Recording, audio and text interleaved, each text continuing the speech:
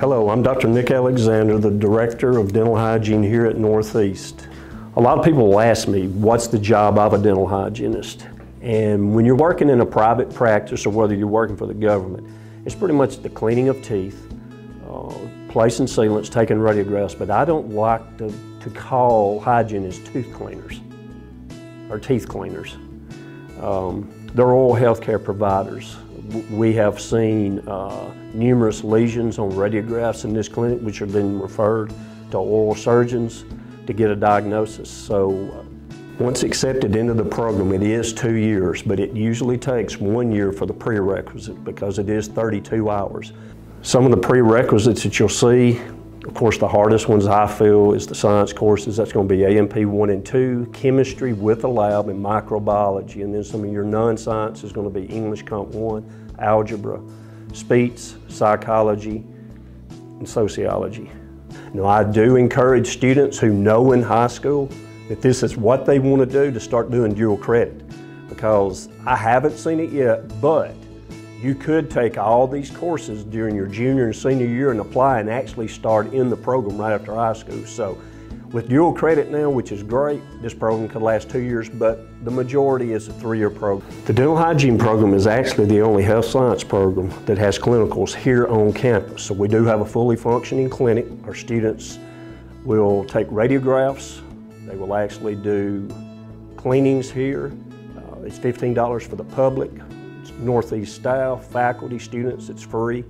Some of the things they do is sealant placement, and one of the big things that we do during the spring of the year, which is coming up right after spring break, we do Sealant Day, which is all the second graders in Prentiss County have the opportunity to come here and have sealants placed. Uh, we usually have about 60 to 70 people apply each year and we can only take 20, so it's very important to have a good ACT score and make high grades in the nine prerequisites. Passing rates for those boards on nationals over the last five years is 100% and clinical boards is 97%. So our attrition rates are 100%, meaning if you get into the program, you usually stay.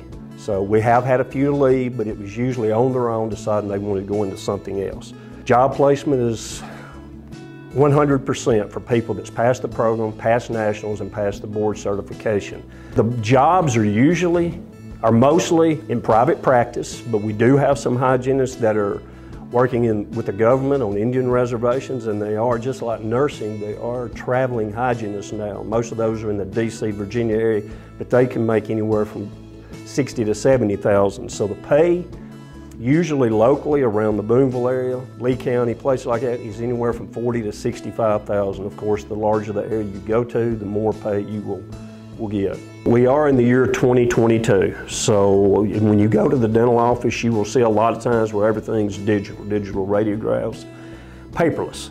And that's what we're striving to be here at Northeast. Of course, we have to do some things on paper for grading purposes, but most, all of our radiographs are digital, which goes, which goes into MacPractice and that's Arch software and it's used a lot in dental offices so that's a good thing that when you go for an interview you have had software, you understand digital radiography. In Mississippi, there's four associate programs. It's Northeast, Mississippi Delta, Meridian, and Pearl River, and there's also a bachelor's program.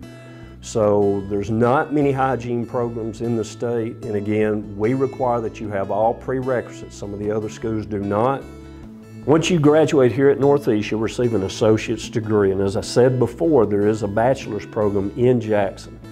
But when a dentist gets ready to interview you and you take a job, you're going to make the exact money as one with a bachelor's program. I'm not saying bachelor program is bad, but if you ever want to teach in a hygiene school, you do have to have a bachelor's program. All of my teachers have bachelor's, master's, one's actually working on their PhD. But for you to get a job in a dental office with the degree you earn here at Northeast, you will be paid the same.